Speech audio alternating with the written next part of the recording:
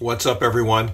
What's on your bucket list? And I'm talking the bucket list in your head and the one in your heart. Your heart desires, those things that you really want from life, those relationships, that sense of God's presence, those heart things. You want to feel a sense of peace.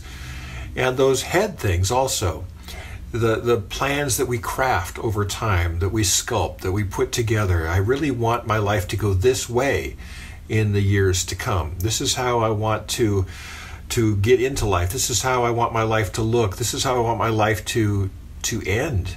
Whatever quarter of life you're in, whether you're in the spring, summer, fall, or winter of your life, we we have hopes and dreams for those seasons, and they come from both the head and the heart. And both here are addressed in Psalm 20, verse 4.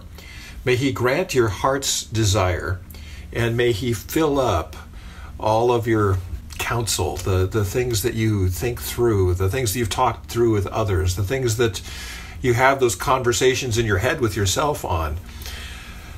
May all of those things be fulfilled. And the New Testament in John 10:10 10, 10 says that uh, Jesus Christ comes that we might have life to the full, that we might feel alive, that we might feel that life is worth it. And that's my prayer for you today that you know that this is not out of reach. That day in, day out, to continue to craft plans and to continue to feel desire in our hearts is a godly thing.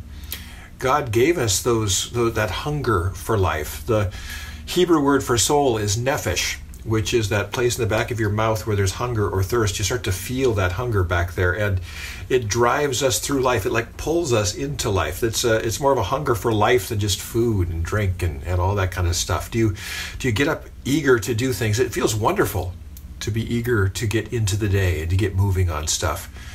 And that's what I pray for you that you would have life, have it to the full, that the desires of your heart and also the, the, the counsel of your mind, those, those conversations we have in our minds with, with others, with ourselves, that they would be fulfilled. So let's continue to pray for that. Don't settle for anything less. That's the good news for today, and I'll talk to you again tomorrow.